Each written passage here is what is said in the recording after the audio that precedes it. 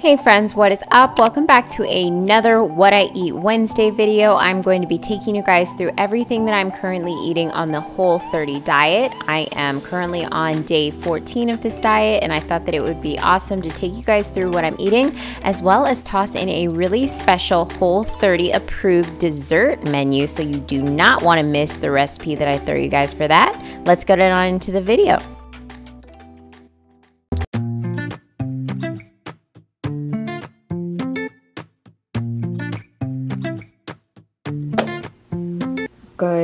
Guys, and this is my coffee this morning. I just have a Starbucks pod in here, and today I am using the two times caffeine, just the medium roast. This stuff has been really good. I actually like it. I am on day 12 of Whole 30, so I am kind of used now to not having any sweetener in my coffee. Typically, I would add like some stevia or you know something like that but I've just been using these nutpods. I did get these on Amazon. I'll have them linked down below for you guys. I have not been able to find them anywhere in store um, but I love this. And also I have been adding in about a tablespoon of this regular just coconut milk in a, from a can and I just keep it stored in a glass container in my fridge. It thickens up and it's a really nice consistency so I feel like it gives my coffee a little bit of creaminess but I've already went ahead and whisked this all together and this is my coffee. It's got a nice little foamy top there and I'm gonna go ahead and drink this. The time right now is 8.50 a.m. I just woke up. I'm gonna drink this and then I'll probably get a workout in and then I'll eat breakfast. So I'll show you guys what we have later.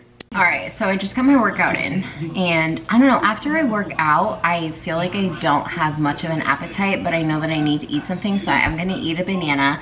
Not gonna lie, I have really been enjoying bananas on the Whole 30 because as someone coming from the keto diet where bananas are like strictly forbidden because of the high carb count. I've just been really enjoying these. So I'm gonna have one of these. I'm gonna go and get dressed and then maybe when I come back I'll have something. It's 11:14 right now so I know I should have eaten by now because this is not like a fasting type diet or lifestyle at, by any means. I am just so accustomed to like my fasting eating period. Even on day 12 it's been really hard for me to get out of wanting to fast or like eating between like a certain eating window. So gonna eat this and I'll catch you guys at the next meal. Okay, so it is so late. I got on live, um, but I'm making up some of this uncured cut, center cut, no sugar bacon, and it's just three pieces. I'm gonna make that, and I'm also going to cut up some veggies and make like a little egg omelet. It's, I'm embarrassed. It's two o'clock right now, you guys. I definitely don't recommend doing this, but this is where my day is, so I'm giving you guys a full look at what I'm eating today. So it is very important on the Whole 30 diet to get in a ton of vegetables and I really like utilizing this when I am making breakfast or my first meal of the day. It's super easy when preparing eggs to throw in as many vegetables as possible so I like to do things like bell pepper, onion, mushrooms, and especially spinach. It just gives me a ton of extra vitamins and I definitely do recommend seasoning your food guys, making sure that you're taking that extra time time to just give it nice flavor. It'll make you happier to eat, I promise.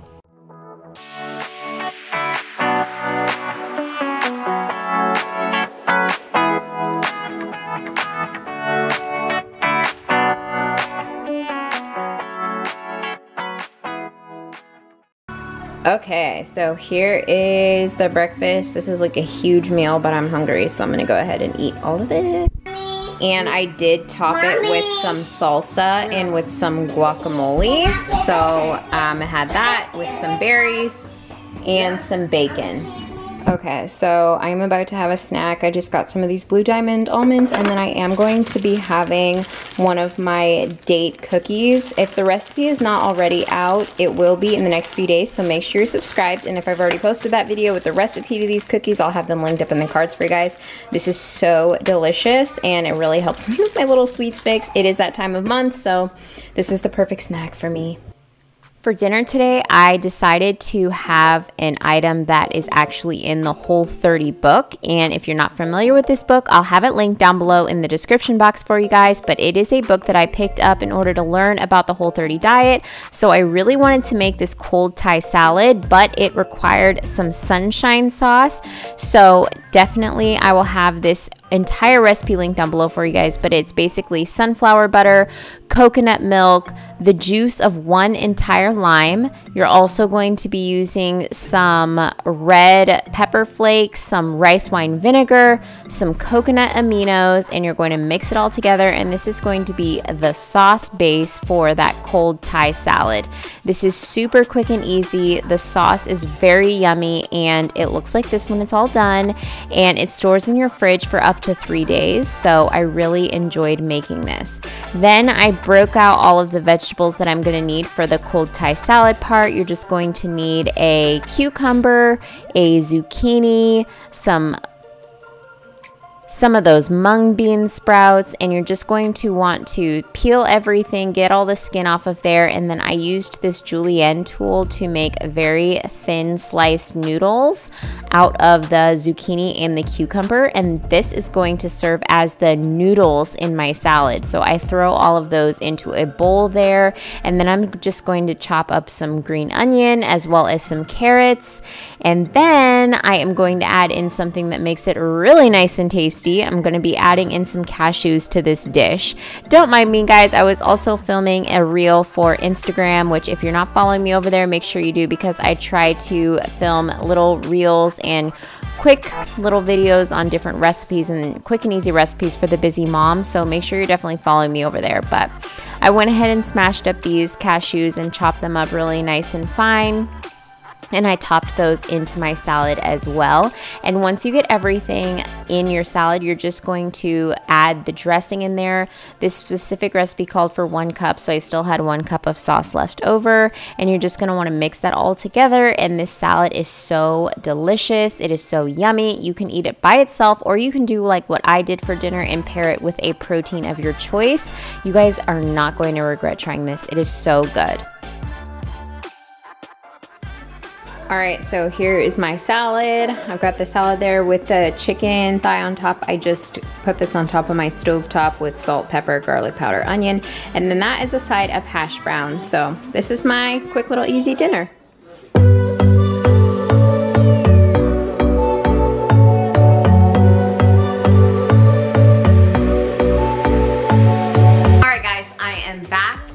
Wanted to show you a really quick and easy Whole 30 dessert. It is a three ingredient cookie and it is super delicious, super chocolatey, and it just hits the spot. You're only going to need three ingredients for today's recipe. You're going to need some pitted medjool dates and you'll also need some unsalted cashews. Unsalted almonds will work just as well and actually the original recipe that I found this from called for almonds but I found that cashews worked really really well. And you're going to need some cacao powder, 100% cacao. This is the Hershey's, probably not the best for Whole 30, but the only ingredient in here is cacao, which is Whole 30 approved. So I'm going to be using this. And I'm also going to be adding in a little secret smidge of an ingredient. So I guess technically you could say this is four ingredients, but let me show you what the fourth little additive is to make these cookies really taste amazing. So this is the no sugar, no salt added almond butter and this is the Barney Smooth and I'm going to be adding about a tablespoon or so of this into the mix.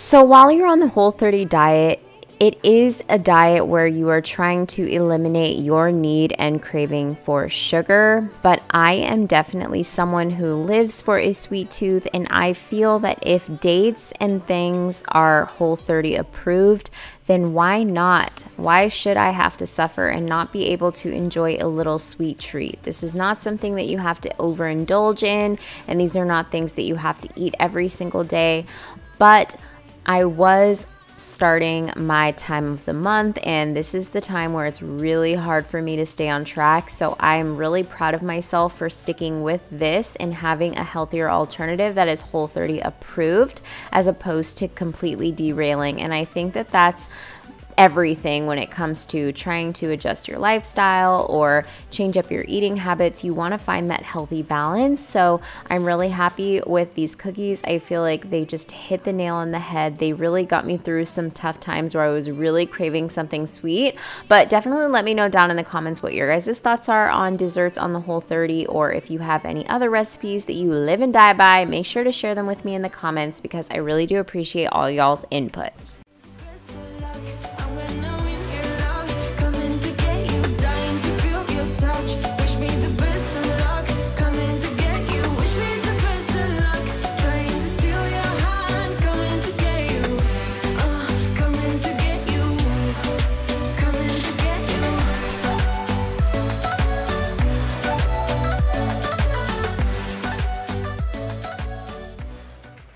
All right, you guys, so these are my cookies and all I have to do now is just place these into a refrigerator for a few hours once they're nice and cool.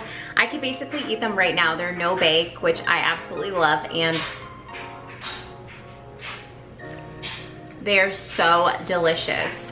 The cashews and that almond butter, phenomenal.